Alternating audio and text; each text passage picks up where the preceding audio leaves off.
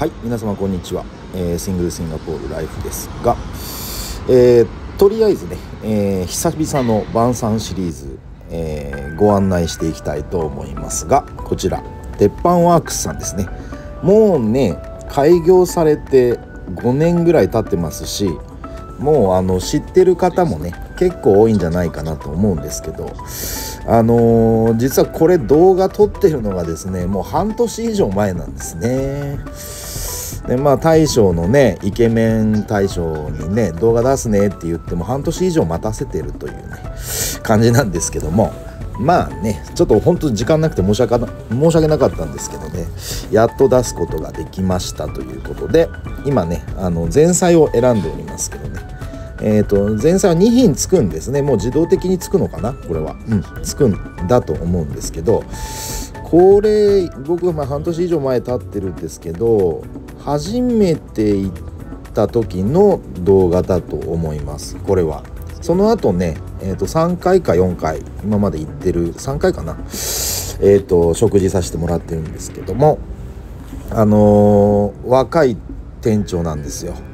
まあ目が大きいねあのイケメンの店長なんですけど、えーと、なかなかね楽しくていい方でね、えー、あの一人飲みでもちょいと利用させてもらってるというか、まあ、この時一人飲みなんですけどあのー、ねこれ味南蛮とか出してね結構僕の中ではお気が利いてるな鉄板焼き屋さんなのにみたいな感じなんですけどね。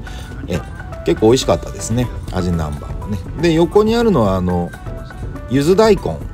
みたいなやつです。お漬物のような感じのやつですけどね、はい、さっぱりしてよかったですね。でこれがあの卵焼き、まあ、鉄板焼きですね。卵焼きになりますけどまあ何せおっさん半年以上前のことえー、中の具が何かもう忘れてるというね。えー、美味しかったことしか覚えてません。何だったかなっていうサーモンだったかな？違うかな？なんかこう撮ってるの見ても何が中に入ってるかちょっといまいち分かんないんですよね。えー、ただあの美味しいですよ。鉄板ワークスさん。はい。あのこのあとね出てくるんですけどあのまあ締めまでねあのいただいたんですけどあの本当なんて言うんでしょうね。あのかしこまらなくていい鉄板焼き屋さんが僕は好きなんですけどまあかしこまる鉄板焼き屋さんはあの高くちゃいけないっていうのもあるんですけどね、えー、まああの本当これが高野豆腐の鉄板焼きだったと思うんですよ。僕高野豆腐が大好きなのでごま豆腐？ごま豆腐じゃなかったと思うんですけどこれね美味しいんですよね。まあ豆腐に目がないので僕は。ええ。ー、あのこの鉄板焼きめちゃくちゃ美味しかったですね。はい。こうわさびをつけて。まあ醤油ベースの味付けがされてるのでねわさびつけて食べたんですけど美味しくて。でこれが牡蠣ですね。はい。牡蠣鉄板焼きで焼いてから殻に戻すみたいな。感じですけどね。まあこれはなんかねあの味の想像つく方も多いんじゃないかなと思いますけどね。まあ安定の美味しさです。牡蠣は。ええ。ねシンガポール本当牡蠣多いですけどね。生牡蠣多いですけど。安定の美味しさでした。でこれがこれなんだろうって思ってなんか食べてますけどね。これ何なんでしょうね。もう忘れちゃいました。申し訳ないですね本当。忘れちゃいましたけども。まあこの焼き牡蠣自体はねえー、鉄板焼き美味しかったですね。でこれが牛すじ煮込みのような感じですね。えー、甘辛く煮てあるやつですね。でこのキャベツっていうのがいいですよね。牛すじにキャベツは合いますよね。えー、なんかちょっとやっぱ大阪を思い出させるような感じにはなりますけどね。美味しいですねこれも。でえーとこちらがポテサラです。確かねこれあったかいポテサラだったと思うんですよね。えー、あの温かいポテサラを出す店。まああの鴨下さんとかね。あの美味しいですよね。あの鴨下さんのポテサラも美味しいですけど。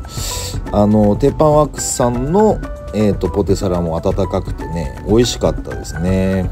はい。でまあちょいちょいねこうイケメンくんの手さばきを取ったりしておりますけどもね、えー、まあ、キャリアとしてはもう長いですよね店長も、まあ、大将もね長いし、まあ、若く見えるんですけどもう40超えてんのかな？40ぐらいかな？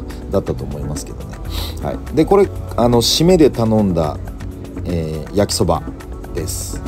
まあお好み焼きもいいんですけど僕はなんかあの焼きそば頼んじゃうんですよね。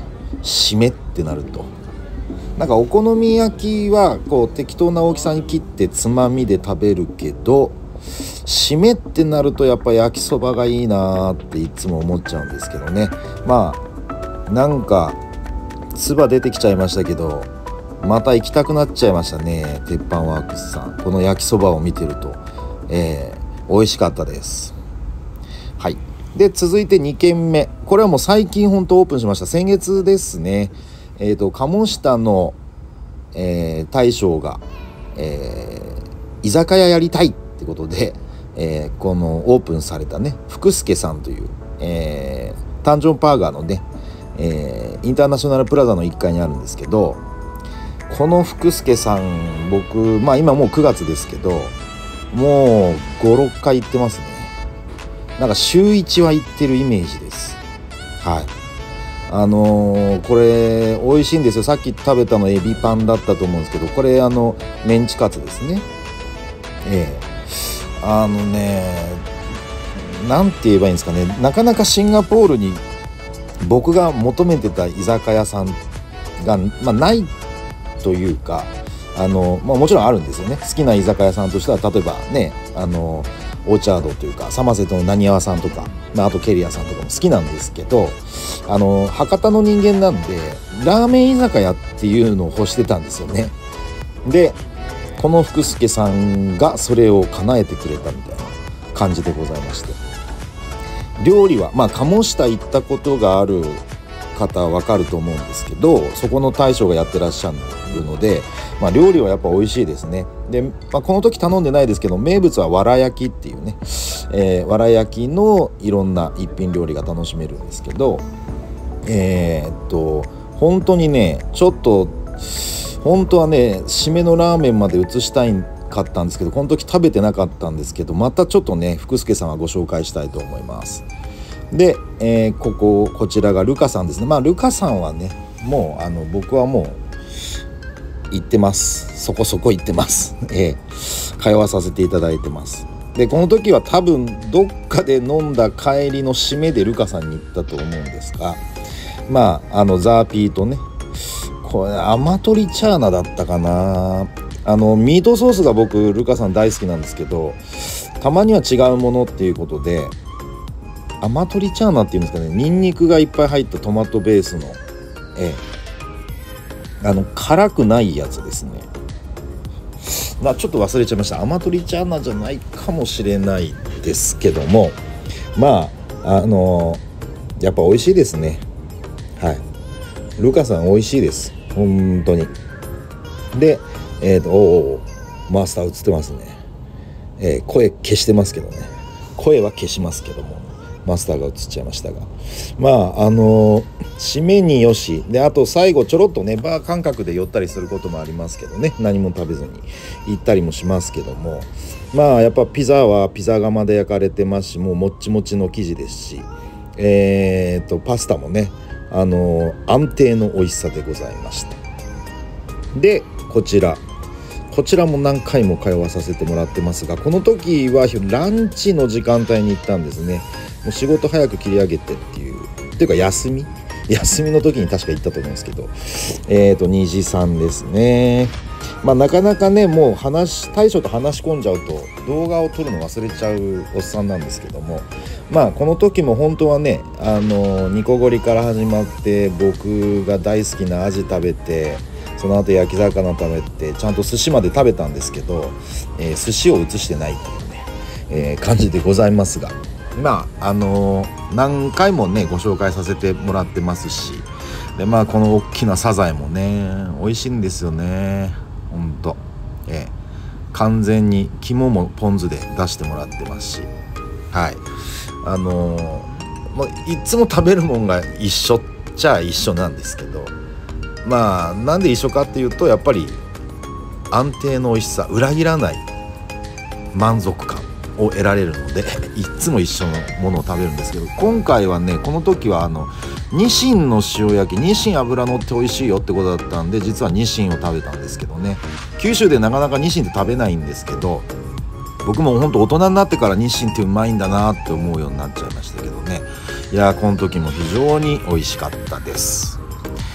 てなわけでですねあのー、晩餐シリーズ最終回ということで、えー、っとご案内してるんですけれどもあの動画をねやめるわけではないんですね。ただあの私がですね、まあ、シンガポールでちょっと、えー、起業して、えーと、ビジネスをやろうっていうことでもう10月ぐらいからぼちぼち始めるっていうのもあってなかなか飲み歩きができない状況になってますしまあ今後もね、まあ、晩餐シリーズとしてじゃなくて、まあ、今後もどっかね美味しい店行けばあのアップしますしまあフライト動画は、えーと、アップしますのでまあ皆様よろしければねまたご覧いただければなと思います。てなわけで今回もご視聴ありがとうございました。